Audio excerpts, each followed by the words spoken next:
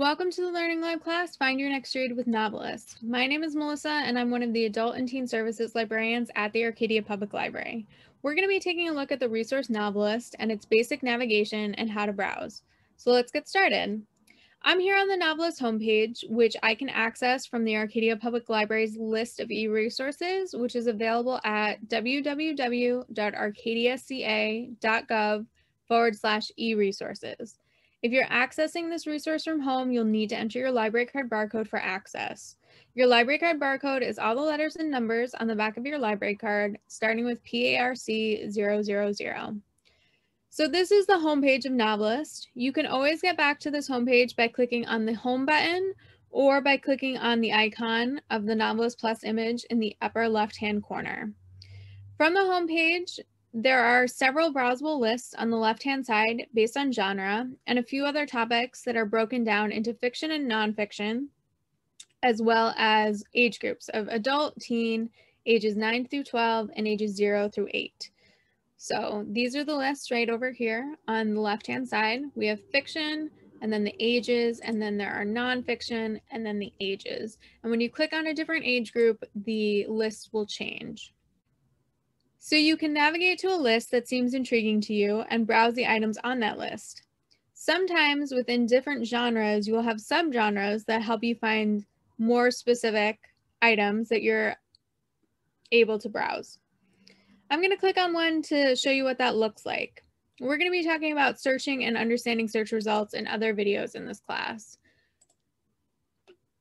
So I'm here in fiction and I selected adult and I'm going to take a look at the mysteries one and you'll notice that there are all these different subgenres within the mysteries category. So I'm going to click on Fatally Funny and it'll take me to the list of that subgenre within the genre. Now I'm going to head back to that home button on the upper left side to get back to the home page, and we're going to take a look at a few more buttons on this page. The next way to browse is the Browse By button in the upper left-hand corner. This option allows you to browse for titles based on genre. And if I click on that, it's going to give me basically those lists that we saw on the left-hand side. If I go back up here, we can also search by appeal. And these appeals are appeal factors that are basically terms that Novelist uses to describe items based on story elements that can help you decide if a book fits your style or mood. So they have appeal terms for things like character, illustration, pace, storyline, tone, and writing style. So you can build a combination of appeal terms that the system provides and this is helpful in case you're having trouble putting your finger on a way to describe something. Getting prompted is often a lot easier. So for example, if I choose character, it gives me a bunch of character options. If I choose illustration, it gives me some illustration options, etc. So all of these will have ones that are filled in with additional terms that prompts you um, for descriptions of the items that you are looking for. Next, in the upper left corner in the drop-down menu are themes. These are often genres, but not always.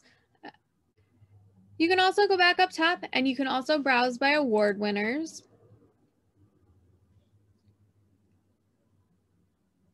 These are lists that have been created for a whole bunch of awards and they're separated by age group.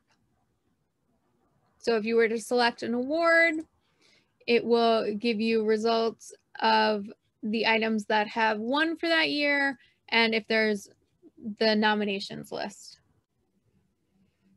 And finally, you can browse by audiobook.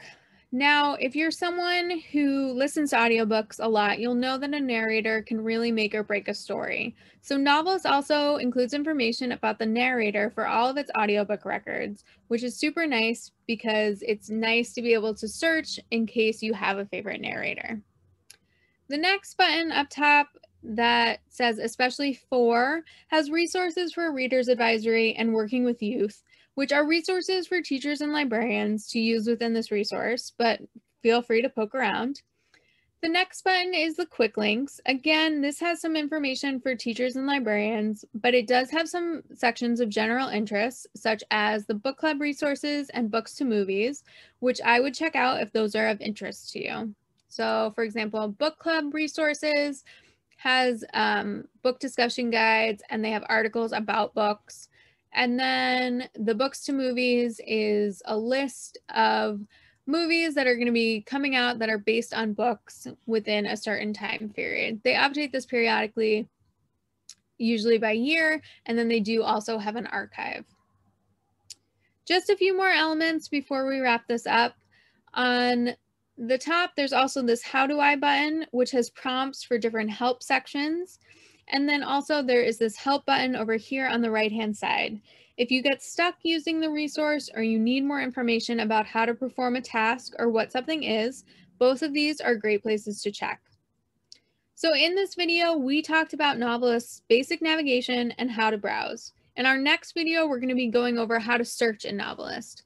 Feel free to reach out to library staff if you have any additional questions.